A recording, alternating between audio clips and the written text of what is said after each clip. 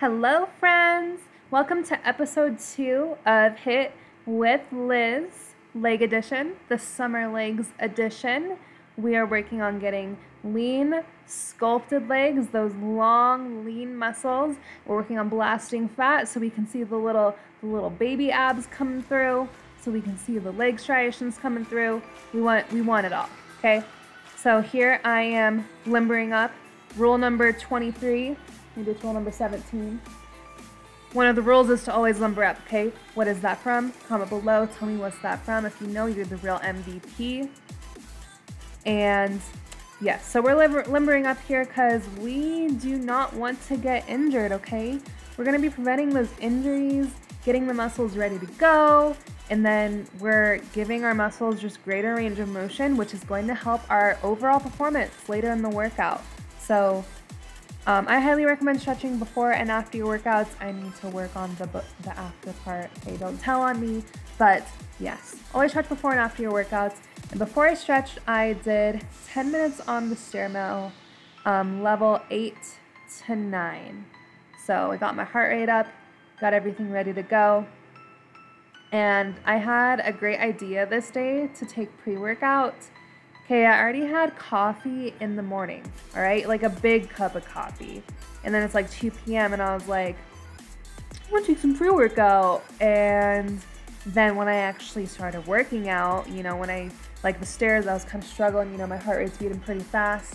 And then here, okay? All this is sped up, by the way, because I didn't want to keep you here for 20 minutes. I had to like cut all the footage in half. Seriously, it was like 20 minutes of footage. You're welcome. But um, when I got here to this triset, I thought I was gonna throw up after because my heart was beating so fast, and I had like I, I like stopped the camera after this triset, and I had to take a lap. I thought I was gonna throw up. So the pre-workout was hitting, and the workout was hitting 40 alternating reps of these doodads. I can't think of the name right now, but I will put it in the title. Okay, and then we followed that movement up with split lunges. So I we we're gonna prop our foot up on a bench, chair, something behind us, and we need to be far enough away that our knee is stacked on top of our ankle when we're at the at the bottom of the movement. Okay, I don't even want to see your knee coming like a little bit over your toes. Your knee needs to be stacked on top of your ankle, and then having that bigger space between the foot between not the foot between your foot and the bench um, you're going to be able to target your glutes and your hamstrings more with that bigger with that bigger range of motion that you're getting from that. So i'm struggling. I apologize but and then final movement in the triset sumo romanian deadlifts. I had a bit of a wider stance so you know like not like sumo sumo but i would say they're sumo okay? But yes um i I always say, but yes. But yes, I did um, all this. Keep your reps high. Um, I I like the magic numbers of 12 and 16, maybe 20 every now and then. But lift through your glutes and your hamstrings. Okay, squeeze at the top of the movement. Now I just want to point out here. I just want to point out how much I'm sweating. If you can see how much I'm glistening and glowing. Okay, like for real. I was sweating so much. These are sumo sumo squats and I elevated myself on two benches because I did need a bigger just range of motion um, so I could feel it in the glutes a little bit more, okay? And I did turn my toes slightly out, so more of like a plie squat. Um, and I was using a 45 to 50 pound dumbbell. Again, moderate weights, um, keep your reps high, keep everything back to back. So this is that was the first movement in the superset, and I followed that up with leaping lunges. So for leaping lunges, you need to give yourself again a big enough range of motion between your front leg and your back leg, your front foot and your back foot, so that knee isn't going over your toe. And then from there, you need to jump up high enough because you don't want your front foot hitting the ground like ages before your back foot does. You want your legs to be working equally, so you need to give the movement just equal momentum and power and blast up from the bottom. And yes.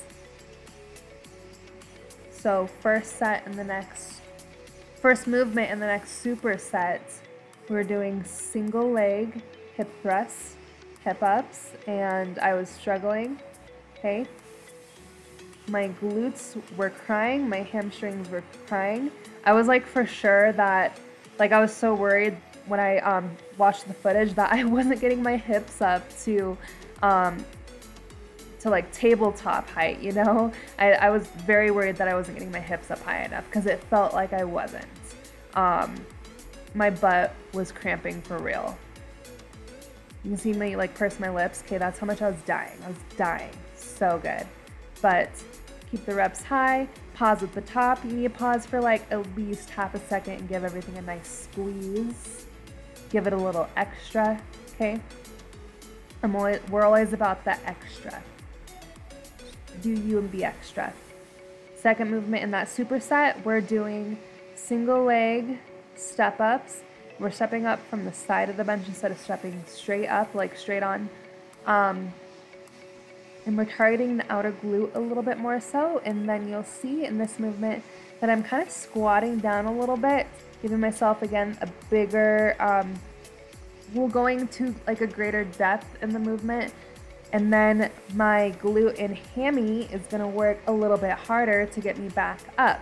So we don't, so we don't wanna focus on the non-working leg for getting up from the base of the movement. So my non-working leg right now is my left leg, okay? I'm gonna try to use my left leg as little as possible and I want my right leg doing all the work because my right leg is the leg I'm focusing on and my right leg needs all the gains, all of the shreds. If I'm using my left leg to push me up, then what good is that going to do for my right leg, right? So just, just look at that glistening sweat. Okay, if, if you do this workout, thank you, first of all, thank you for the support, but you, you need to be sweating equally as much as I was, right? Last, this was a triset. so last circuit, last triset in this little workout ditty. Um, so I did a single leg Romanian deadlift into a reverse lunge. You know, you see this in a lot of my leg workouts because I love it. I live for this movement when I do legs. It's awesome. Um, but yes, the cables were a nice switch up because honestly, I can get great a greater contraction. I feel like, and I feel like I can make that mind to muscle connection a little bit better. Um, it does require a bit more core stability, I would say. Um, and then obviously you are using a little bit of your upper body since you have to, yeah. But anyways, um, yeah, I feel like I can make the mind to muscle connection and I just feel my glutes and my hamstrings burning. So, loved it.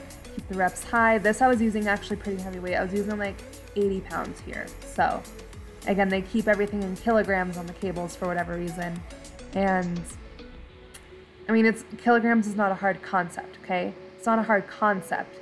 But when in when in the moment, I'm just like, okay, how many pounds is that?